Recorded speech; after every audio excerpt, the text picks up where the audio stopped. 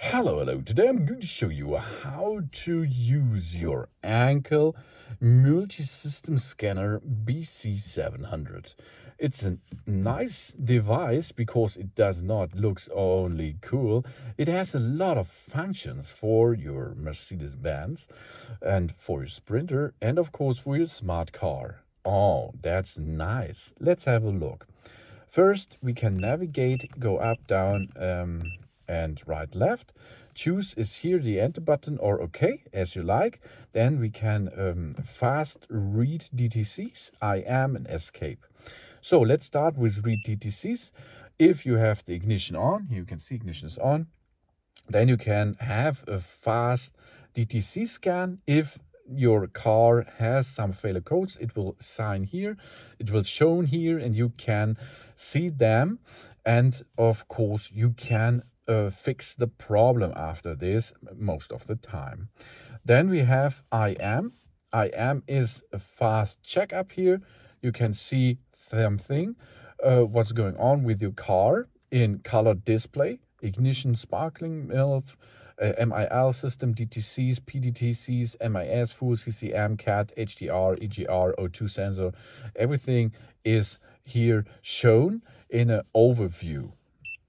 Then you have the possibility to go to tool setup. Now you can choose um, the right language as you like. Go to language, choose your language, what your favorite language will be.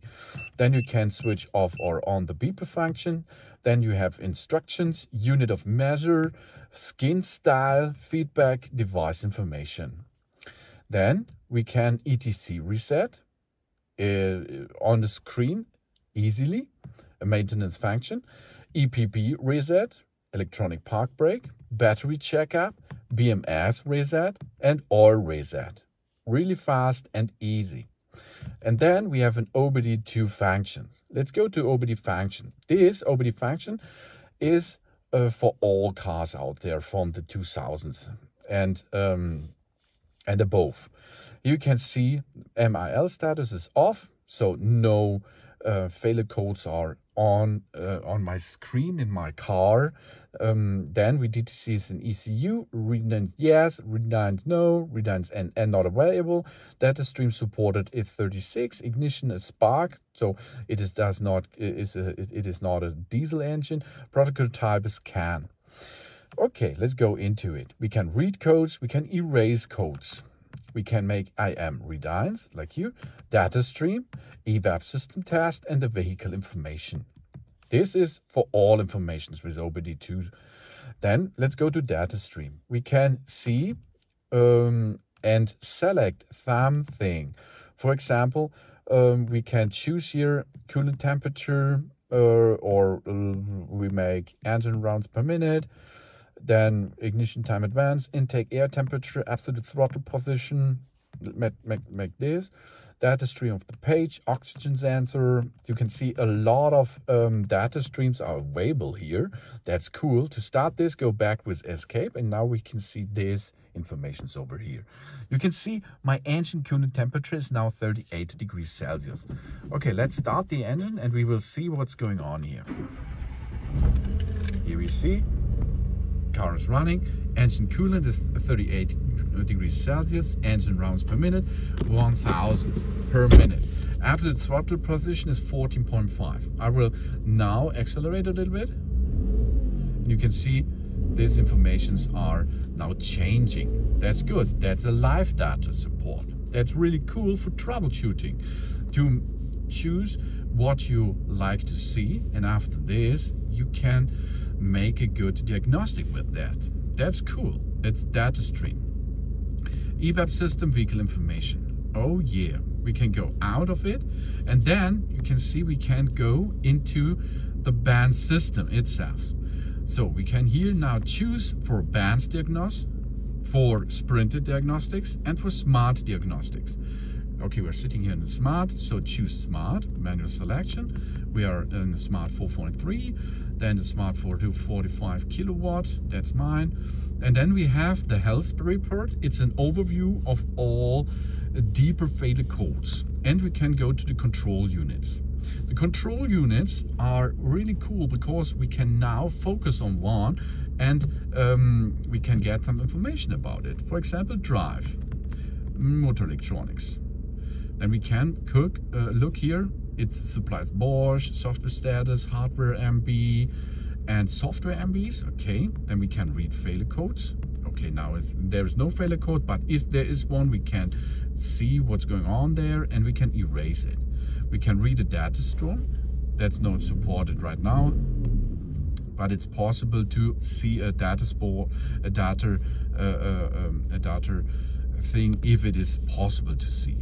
Then we have chassis, ESP and electric power steering, drive assistance system, collision pre uh, prevention system, collision prevention system, and lane keep assist. And the body. That's all um, the the, um, the, the software-based systems on your uh, on your frame, which is there, not not in the engine. It is around your car and there are a, a lot of systems you can um, see what's going on with them. Information and communications and air conditioning, as you can see. Then we have special functions. Our service light reset, for example. Here we can choose. We can perform the service scope, window service, the remaining distance until the next service and the next days until the next service, 88 days, for example. Here we can go to OK, then it will be reset. Then initialization after replacing something. That means if you have an ignition core replaced as well, you can um, say the computer here inside your car, hey, we, uh, we, we make a new one, okay? Ignition. Or we can teach on off the throttle valve. If you replace the throttle valve or you clean them, that's the, the um, relearn function of this. These are the special functions and the health report is an overview of it. So let's make this and you can see now here inside um, there are um, it is a little bit others. It looks every failure code which is in the deeper area of the OBD thing.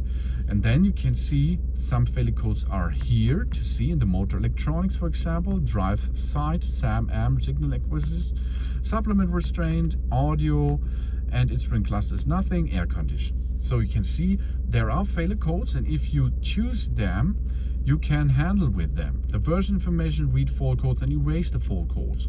And of course, you can ch uh, choose the data stream. This is good for troubleshooting, really nice. If you're in this menu, to come out of it, you have to unplug it first. So we unplug now. Let's go back to, to the device to come back to the menu again.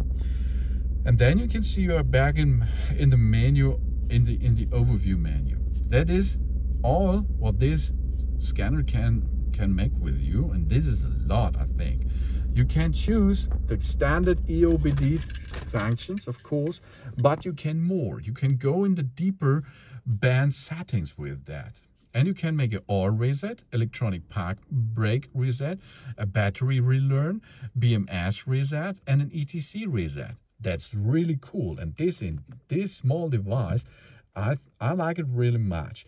It is easy to to um, to navigate between the menus and it helps you for troubleshooting a lot of problems uh, with cars from Mercedes-Benz, Sprinter, and of course from Smart. Because this Ancel software here gets you into your system and it helps you to detect failures. And then you fix it after this, erase the codes and you're back on the road again. Of course, this system is possible to control, but not here. This, these, not the special functions, but the OBD2 functions are free for all cars from the 2000s and above. That's no prop. It's good tool to all cars out there. Nearly all cars, okay? Mm, because some uh, some Renaults or Dacia models are a little bit different than others, okay? But this is not the fault because of Ancel. This is because these brands are really special. but I do not have a Dacia right here. I cannot test it. But um, this is um, this is this, this is hard sometimes. But okay this thing here makes a good job with Benz system sprinter and smart. Easy as you can see. Thanks for help. Thanks for watching. Please subscribe me and give me positive feedback. And I hope to see you again on my channel Sun Sun.